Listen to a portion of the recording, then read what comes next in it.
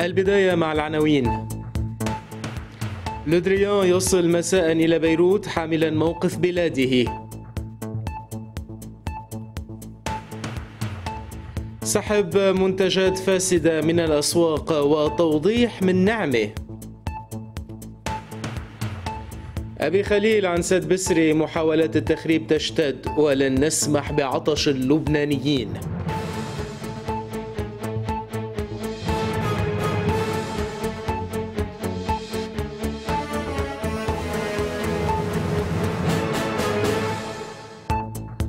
الثانية والربع بتوقيت بيروت. أهلا بكم إلى هذه النشرة التي تبث أيضا عبر موقع otv.com.lb ومن خلال صفحاتنا على فيسبوك وتويتر. لفت عضو تكتل لبنان القوي النائب سيزار بخليل خلال مؤتمر صحفي حول سد بسري إلى أن محاولات التخريب وضرب المصالح الحيوية للناس الذين نمثلهم تشتد وتيرتها وخرجت عن كل منطق علمي أو قانوني أو أخلاقي لدى سياسيين وناشطين وخبراء مزعومين. وقال اشتكوا إلى البنك الدولي بموضوع الدراسات الزلزالية والبيئية والهيدرولوجية وكلفت لجنة تفتيش مستقلة من واشنطن عملت على التدقيق التحقيق لأشهر على مرحلتين وأفضت نتائج التحقيق والتدقيق إلى أن لا أساس لهذه المزاعم والشكاوى. واستمرينا بالمشروع أنجز نحو 60% من الأشغال وحصلت استملاكات بقيمة 155 مليون دولار أمريكي وقبضوها. والآن لم يعد يريدون السد أو يريدون أن يستردوا الأموال بالليرة اللبنانية بعد انخفاض قيمتها. هذا هو الفساد وهدر المال العام. معتبرا أن هناك أصول برلمانية البرلمانية هناك قوانين صوتتم عليها في 2015 أقرت هذا المشروع وهذا القرض. هناك حلقات نقاش مع الخبراء والجمعيات أجريت في نيسان 2019 في مجلس النواب بلجنة الطاقة والأشغال. وسأل أبي خليل هل غيرتم رأيكم أو تغيرت المصالح؟ قدموا اقتراح قانون بدل العرضات. هذا هو عمل النواب. هلا يا بدنا نفرض متعهد اللي بدنا اياه يا السد بصير فاسد؟ وقت المتعهد اللي بخصنا بينجح بال بيكون بي... بياخد المناقصة بكون السد المتعهد اللي بخصكم يعني بكون السد نظيف وشفاف ووقت المتعهد اللي بخصكم بيسقط بالمناقصة بصير السد فاسد. هل هيدي هي المعادله اليوم يلي عم يلي عم نلعب فيها بمصالح اللبنانيين وبمادة حيوية هالقد قد المي؟ أعزائي في أصول برلمانيه سنة 2015 صوتوا على قانون الغاء القانون بصير بقانون مش بعرائض النواب شو بيعملوا؟ النواب بيقدموا ترحية قوانين. اليوم عم تحكوا عن قوانين. بنسمع مطولاتكم عن القوانين اللي لا تنفذ من قبل الحكومة واللي بي واللي بي بياخدها مجلس النواب اللي بيصوت عليها مجلس النواب. طب هيدا قانون اليوم. عم تدعوا لعدم تنفيذه؟ شو هالازدواجية هيدي بالمواقف السياسية هي؟ كمان هيدا البرلمان بحب ذكر إنه بنيسان 2019 بلجنة الطاقة والأشغال عمل ندوة جاب عليها كل المعترضين. جاب إجوا عليها نواب إجوا عليها سياسيين إجوا عليها إدارات وإجوا عليها جمعيات وبيئيين. ولما استنفذوا الأعذار كلهم ولما تجاوب على كل الأعذار وتظهرت شغل لجنة التفتيش المستقلة خلص صرنا بنهرب من المناظرات صرنا بنهرب من الندوات ومنروح للشعبوية وللصريخ. تعرفوا تنقدر نأمن المي اللي بأمنها هيدا السد بدنا نحفر 200 ل 250 بير ارتوازي وأبار ارتوازية من الكبار. يعني اللي بيشيلوا 2000 متر مكعب بالسنة. يعني بدنا نأمن لهم كهرباء غالية. يعني بدنا نأمن صيانة لإلهم غالية. عم نحكي عن 50 60 مليون دولار بالسنة صيانة وتشغيل لإلهم. يعني بمصطلح أهون وتهينا على البعض. المياه الجوفية مثل البوتوكس يعني. يعني بده صيانة مستمرة والا بيقشط عرفنا شو يعني الاعتماد على المياه الجوفية؟ طيب انحكى عن تحلية المي. كمان هون المنطق شو بقول إنه بتشتت الدنيا فوق جبال وتلال وبتتسرب المي بالسواقي وبالأنهار على البحر. بعدين بروح بناخدها من البحر نصرف عليها طاقة غالية ومش متوفرة تنحليها. نصرف عليها طاقة غالية ومش متوفرة. تنرجع نضخها على التلال أو على الخزانات تنرجع نوزعها. وين بتصير هاي؟ بأي منطق؟ طرف اللي حكي الأحد عامل ندوات وندوات عن مصلحة لبنان بإقامة السدود أمام طلابه أمام كادريته.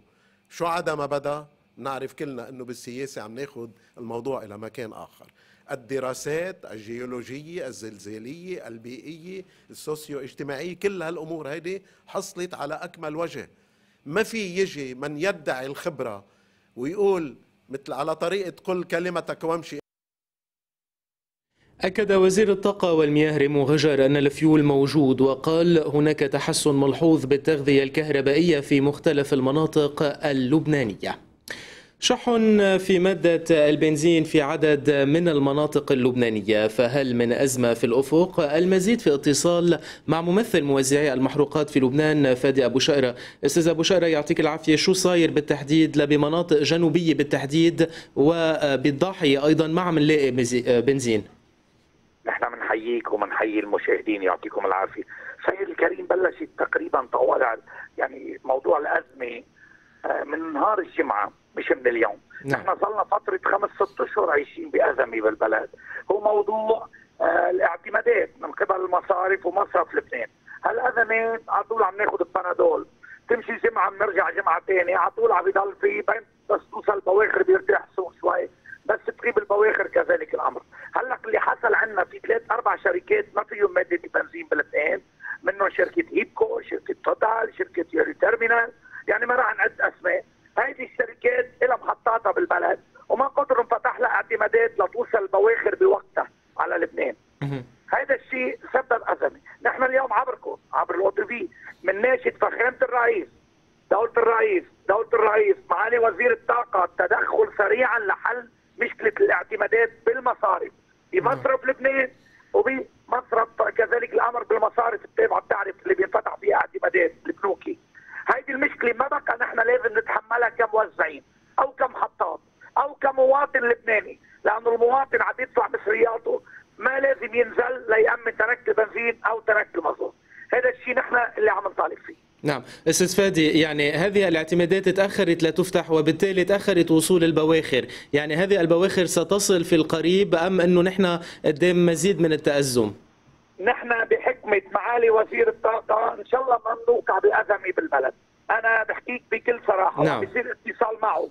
وصار اتصال مع مستشار دولة الرئيس دياب والموضوع خلال ساعات رح يتم فتح الاعتمادات نحن هذا الشيء ناطرينه بأسرع وقت لأنه ما بنحمل الأزمات. لا نحن كنقابات ولا المواطنين نحمل الأزمات بهالبلد. قد إيه بعد قادرين نحمل؟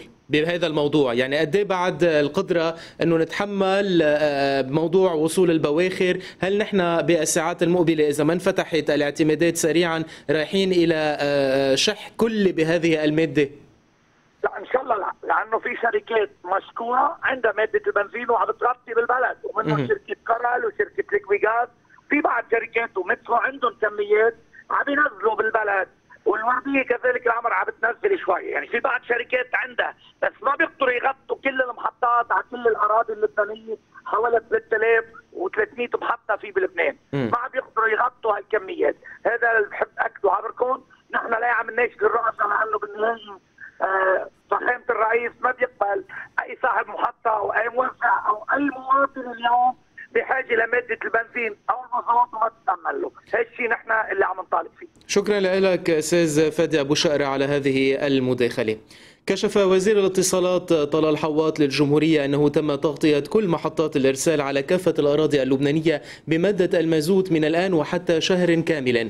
وأكد أن لا مشكلة في السرعة على شبكة 3G و 4G أما سرعة ال DSL فتخضع للمسافة لجهة قربها أو بعدها عن مواقع سنترالات أوجيرو. وأكد أن الوزارة مستمرة في مضاعفة السرعة والكاباسيتي حسب الإمكانية التقنية الموجودة في المنازل بالاشتراك أو بالسرعة. كذلك مددت الوزارة قرار عدم قطع الخطوط الثابتة ثلاثة أشهر. أما خطوط الهواتف الخلوية فلا تغيير فيها لجهة تلف الخط عند التأخر في تشريجه مجددا. بدأت وزارة الاقتصاد عملية جمع وسحب المواد الغذائية الفاسدة من الأسواق اللبنانية. وكان وزير الاقتصاد قد اتخذ قرارا يقضي بمنع التداول في الأسواق اللبنانية بمختلف السلع من فئة مصنعات الدجاج كالناجتس والإسكالوب وسواها من الماركات التالية شومان ليبول وكاري. وذلك بعد أن ثبت استخدام مواد أولية منتهية الصلاحية في تصنيعها. كما طلب من كافة نقاط البيع بسحب تلك المنتجات فورا من الأسواق تمهيدا لاتخاذ الإجراءات القانونية اللازمة لإتلافها حيث تكلف مديرية حماية المستهلك مراقبة تطبيق هذا القرار. اليوم نحن وصلنا لهون بناء على توصيات معالي الوزير من الصبح أصدرنا قرار بسحب كل المنتجات اللي ليبول شومان والكاري. اللي هن كانوا موجودين إذا بدك عم ينشغلوا فوق وعم يتصنعوا مثل البرجر على الدجاج مثل الناجتس مثل الإسكالوب.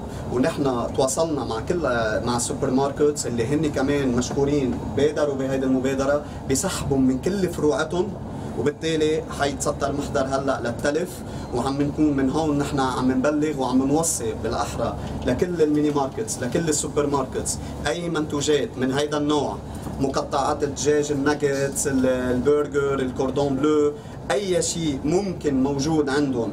ليبول شومان. كاري سحبهم مباشرة لأنه قدام لقمة العيش ما في مجال للمساومة بهذا الموضوع. حنكمل جولتنا. أعطينا توصياتنا للمصالح بالبقاع بالجنوب بالشمال. كمان اليوم يكون الهدف الأول اللي لهم ينزلوا على السوق بسحب هيدي المنتجات. ولازلنا حتى اليوم نحن بانتظار التحقيق. يمكن يبين عنا بعض المنتجات الثانية مصنعة بغير براندز للأسف. هيدا الشيء نحن حنتواصل فيه نحن والمعنيين بالقضاء بهذا الموضوع لنكون عم نسحب اكبر عدد مش أكبر عدد كل العدد المطلوب أوضح وزير الاقتصاد راول نعمة في تغريدة له عبر حسابه على تويتر أن الدجاج الفاسد الذي ضبطته وزارة الاقتصاد بالأمس بمؤازرة المديرية العامة للجمارك ووزارة الصحة يتم استعماله بمصنعات كدجاج كالنجتس والإسكالوب وليس صدر الدجاج التي تمت مصادرته بسبب غلاء الأسعار في أيار الماضي وتم التأكد من سلامته الغذائية قبل تسليمه. إلى بيروت يصل مساء وزير الخارجية الفرنسية جان إيف لودريان في زيارة يلتقي خلالها المسؤولين اللبنانيين حيث من المتوقع أن يكرر موقف فرنسا الداعم للبنان من جهة وأهمية القيام بالإصلاحات المطلوبة ليبنى على شيء مقتضاه. النائب ألا عون تحدث عن هذه الزيارة للأو تي في حتى فرنسا اللي عندها كل الاستعداد الايجابي لتساعد لبنان حتى فرنسا اللي متجاوزه كثير من الأمور السياسية يمكن اللي موجودة عند أمريكا أو غيرها في التعاطي مع لبنان. حتى هي ما نلاقي حالها قادرة تساعد لبنان طالما بعدها عم تشوف ذات النمط من ممارسه السلطة أو ذات النمط من عدم الإرادة في إصلاح كثير من الأمور. ما نفهم شغلة لبنان بعد ما فهموها بس يعني لازم يفهموها الكل. إنه تعاطي المجتمع الدولي تغير. يعني كان في نعم. درجة تساهل مع لبنان كثير كبيرة ما عادت هلا متوفرة بعدت موجودة.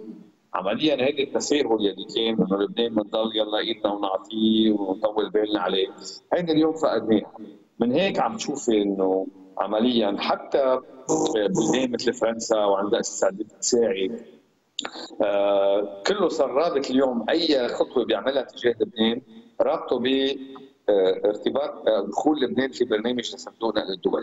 اليوم حتى أعز الأصدقاء لبنان واللي هن فرنسا في تتصدرهم بسبب العلاقة العاطفية. صحيح. حتى هي عم تجي تقول لنا ورح ترجع تكرر هيدي الرسالة إنه عمليا هيدا الأداء رح هلا غير مرضي وغير كافي. ما رح نقدر. هلا أوكي رح تساعد المدارس وكثر خيرها وعلى القليله أنقذت هذا القطاع آه، يعني على الأقل هذه السنة من كارثه كان واصل له. إنما آه، نحن هودي يعني هو معالجات موضوعية إنما المشكلة العامة بعدها موجوده نعم. ولن تحل هذه الزيارة. وبكفي يعني حضور الوزير الفرنسي أكيد ايجابي اهتمام فرنسا إيجابي. إنما اليوم اهتمامها جاي بإطار يا جماعة مزيد من التوعية بظل المسؤوليه الاكبر على على الجهة تابع رئيس الجمهورية العماد ميشيل عون التحقيقات الجارية في جريمة تصنيع دجاج ولحوم منتهية الصلاحية بعد دهم قوة من الجمارك المستودعات التي أودعت فيها المواد الفاسدة في منطقة زكريت في المتن الشمالي.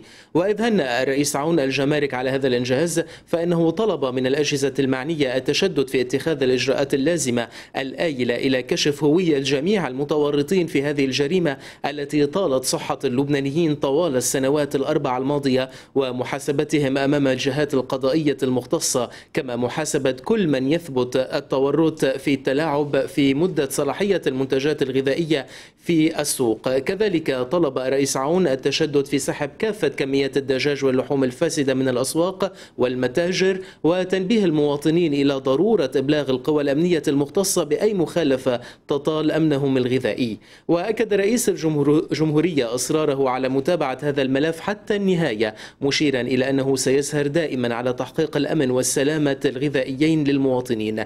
إلى ذلك استقبل رئيس عون عضو اللقاء التشاوري النائب عدنان طرابلسي وعرض معه مواضيع تتصل بالأوضاع الراهنة محليا وإقليميا. كما استقبل رئيس عون الوزير السابق وأم وهاب وتداول معه في مواضيع الساعة حيث أكد وهاب أن رئيس الجمهورية ماض في مسيرة مكافحة الفساد وهو لن يدخر أي جهد في هذا السبيل. على صعيد آخر اطمأن رئيس الجمهورية على صحة أمير الكويت الشيخ صباح الجابر الأحمد الصباح بعد الجراحة التي أجريت له متمنيا له الشفاء العاجل ودوام الصحة والعافية. أكد السيد علي الأمين أن الحياد يجعل من لبنان دولة مستقلة ويعني الدولة التي تفرض سلطتها على كامل أراضيها. وشدد السيد علي الأمين بعد زيارته البطريرك الماروني الكاردينال مار بشارة بطرس الراعي من الديمان على رفض منطق الاستقواء بالأكثرية والعددية. وأن ما يطالبونه هو مرجعية الدولة ذات الشخصية المستقلة الخارجة عن الهيمنات الحزبية والطائفية. وفي الدمان عضو كتلة الجمهورية القوية النائب أنطوان حبشي الذي أوضح أن لبنان نسج, نسج دائما علاقات مع محيطه وبنى الازدهار من حياده ويجب أن يكون مركز طلاق لحل مشاكل الغير. فعليا لازم كلنا نلاقيه للبطرك على هيدا الطرح يلي هو بجوهر وجود لبنان وطن التعدد الثقافي ووطن التلاقي. ولمسنا عند غبطته إنه مسألة الحياد يلي عم بيطرحها هي مسألة إيد ممدودة لكل اللبنانيين. حياد يوحد اللبنانيين باتجاه واضح الاتجاه الوحيد والأوحد يلي كلنا لازم نروح باتجاهه ويلي كلنا لازم نطلع صوبه يلي هو لبنان. هي خارج دائرة الهيمنة. هذا المقصود من لبنان الحياد ولبنان السيادة الذي نخرج الوطن من كونه ساحة لصراعات أجنبية وخارجية وليس بمعنى كما يحاول أن يفهمه البعض أن الحياد هو حياد بين حق وباطل أو بين ظلم وبين عدل. زار وفد من حزب القوات اللبنانية دار الفتوى وقد بحث الوفد مع مفتي الجمهورية الشيخ عبد اللطيف دريان الأوضاع الراهنة في لبنان لا سيما مسألة ضرورة اعتماد الحياد. قمنا مع صاحب السماح بجولة على الوضع العام والمبادرات البناءة سيما مبادرة صاحب الغبطة البطريرك آه، بشار الراعي حول حياد لبنان. وفك الحصار عن الشرعية والقرار الحر وكم نحن اليوم بحاجة لإبعاد لبنان عن الصراعات القائمة والناشئة وتركيز كل الجهود على الإصلاح والمقاربات الإنقاذية. فالإصلاح والحياد واحترام الشرعية الدولية هم مداخل أساسية للنهوض بالدولة من جديد. والإبقاء على انفتاح لبنان على المجتمع الدولي ضمن الثوابت الدستورية اللبنانية. أما الإصلاح فيتطلب اليوم مقاربة مختلفة عن السابق ومتكاملة على الأصعدة المالية والنقدية والاقتصادية والبنيوية وفي القطاع العام تحديداً. ولمسنا من صاحب السماحة حرصه على الوفاق الوطني والعيش المشترك وتضافر الجهود نحو الحلول المنشودة وانفتاحه على المبادرات والنقاش الوطني التي من شأنها تجنيب لبنان المزيد من التحديات التي نحن بغنى عنها. في مجلس النواب لجان ومواقف لعدد من النواب ومنهم النائب فؤاد مغزومي الذي تناول مسألة التدقيق. في وقت تطرق عضو كتلة الوفاء للمقاومة النائب حسن فضل الله إلى موضوع قطوعات الحساب عن الأموال التي وصلت إلى الخزينة من 93 إلى 96 والتي ليس لدينا فيها قطوعات. قطوعات حساب 93 94 95 96 غير موجود. يعني كل الإنفاق الذي جرى آنذاك. وكل الإيرادات التي آه، وصلت على خزينة الدولة ما عندنا تدقيق فيها وغير موجودة. شو الذريعة؟ إنه ما لقوها في حساب في مستندات ضايعة في ما بعرف شو. طيب نحن بنعرف من 93 ل 96 كان البلد في أمان واستقرار. لا صار في قصف إسرائيلي على وزارة المال ودمرت وزارة المال. لا أحرقت وزارة المال. طيب ما هالوزارة بعدها موجودة. ليه من 93 ل 96 ما عندنا قطوعات حساب؟ لأنه في خلل كبير بتلك المرحلة وهذا الخلل اللي تأسست عليه كل الأخطاء اللاحقة وكل الفوضى المنظمة. ما في فوضى غير مقصودة. في فوضى منظمة. لو وصلنا لهون وصلنا إلى هذا هذا الوضع اللي نحن فيه. نحن آباء الدعوة إلى التدقيق بكل حسابات الدولة من أي سنة بدكم إياها. لكن على الأقل في عندنا فترة زمنية البلد كان ما في مشاكل. وين هي هالحسابات؟ وين هي قطاعات الحساب؟ ليش بدنا نبلش من 97 اليوم هل يا ترى رح يكون في مضمون بالتكليف الأساسي اللي رح نعطيه لألفاريز؟ لفعليا تعرف لنا شو صار؟ اليوم لما نزلت العالم على الشارع ب 17 أكتوبر شو طالبوا؟ وقف الفساد استرجاع الاموال المنهوبة. تنبلش بهالموضوع بدنا نبلش بشيء اسمه نعرف فعليا وين المصيرات راحت. هل يا ترى هالطبقة السياسية اللي وصلتنا لهون بالشراكة مع المصارف ومع البنك المركزي رح تسمح لشركة فعلية إن تدقق تتقلنا فعليا وين راحت المصريات؟ إن شاء الله أكون أنا غلطان. انتبهوا أنا بتعرفوني ما عندي مشكلة بهالموضوع. أنا ما في شيء شخصي. إن شاء الله أكون غلطان أنا بالآخر إنه هن بالاخر جديين فيها. بس نحن منعا لهالموضوع نصر من هون على هالمنبر ومن منبر مجلس النواب وكنائب يجب شعبنا يعرف فعليا مضمون التكليف اللي عطته الالفاريز لازم نعرف خطوة بخطوة وين رح تروح. هل يا ترى فقط للبنك المركزي ولا بالآخر كل الحسابات اللي مرتبطة بالبنك المركزي؟ نعود بعد هذا الفاصل.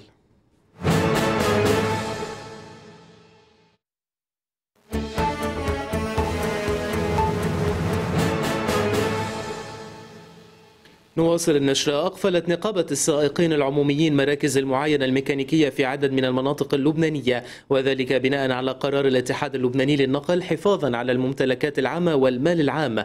ومن أمام مركز المعاينة الميكانيكية في الحدث شدد رئيس اتحادات النقل البري بسام طليس على أننا لا نريد وعودا بعد اليوم والمعاينة الميكانيكية هي ملك الدولة منذ العام 2012 عم ننفذ اللي التزمنا فيه بتسعة شهر من قدام المعاينة. بتسعة شهر جينا كنا قايلين إنه عنا إقفال مفتوح للمعاينة الميكانيكية وأعطينا فرصة بعد ما تشاورنا نحن والشباب بتسعة شهر إنه ل 22 شهر. أعطينا 13 يوم أو 14 يوم. للأسف من يوم لليوم لا مجلس وزراء لا وزارة الداخلية ولا وزارة المالية ولا أي وزارة من الوزارات تحركت.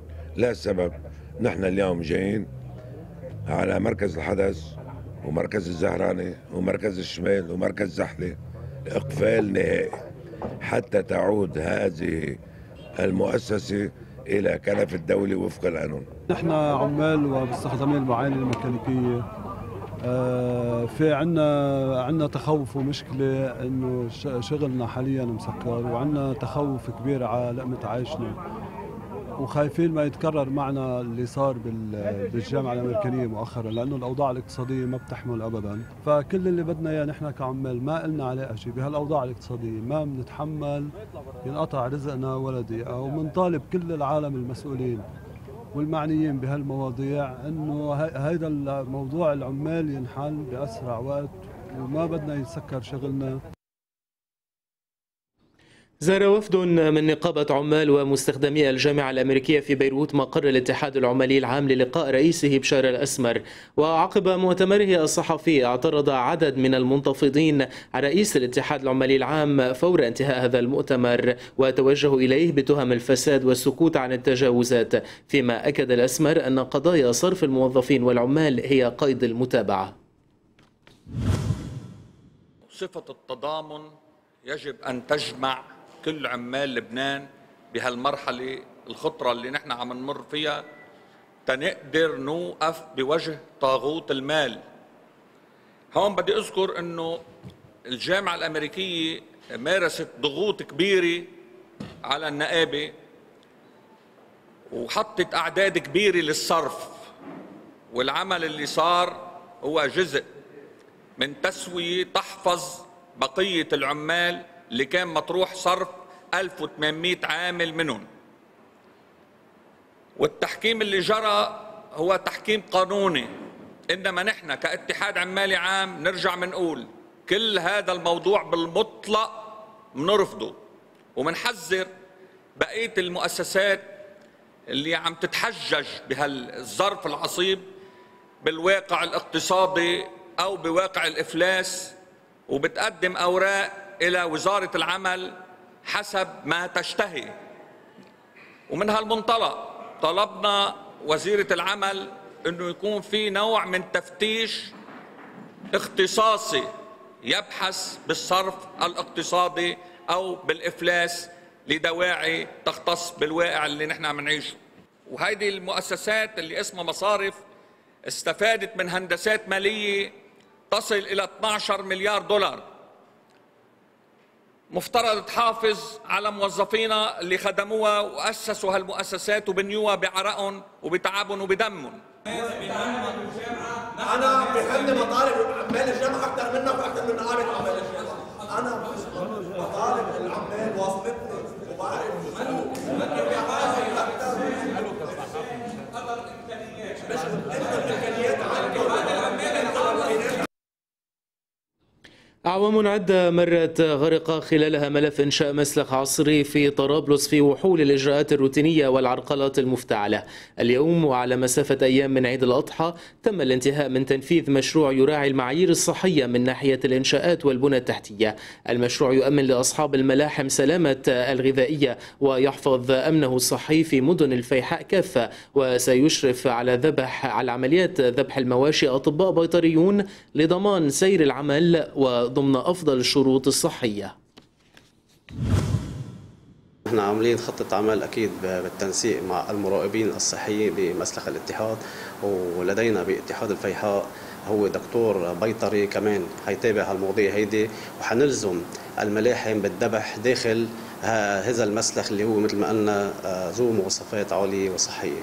نطلب من الحكومة مزيد من المشاريع الحيوية اللي هي بتحيي منطقة الاتحاد وضواحيها وتأمن فرص العمل لأبنائها. وأنتم بتعرفوا منطقة مناطق الاتحاد تعاني وتعيش منطقة تعيش حالات صعبة ومزرية ودائما تعيش الفقر والحرمان. نطلب من الدولة مزيد من هذه المشاريع. على وقع ارتفاع إضافي بدرجات الحرارة التي قد تلامس الأربعين في البقاع شب حريق كبير في جبل بلدة عنا في البقاع الغربي. أتى على مساحات واسعة من الخضار ما دفع الأهالي إلى مناشدة الجيش وعناصر الدفاع المدني للتدخل من أجل إخماده خوفا من وصوله أيضا إلى المنازل المجاورة. النشرة مستمرة بعد هذا الفاصل.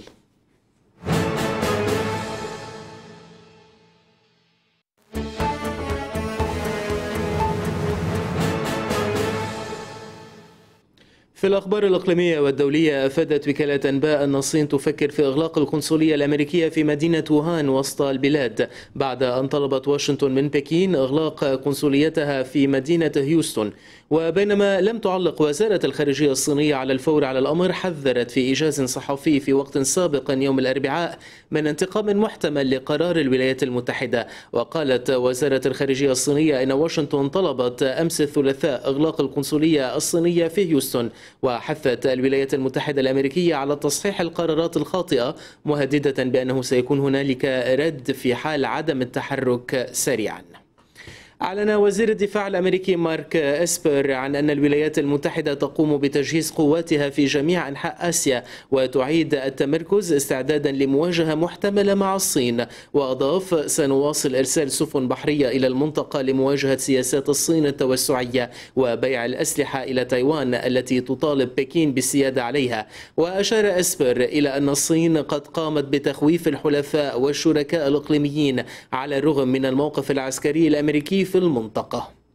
ومع هذا الخبر نصل إلى ختام النشرة.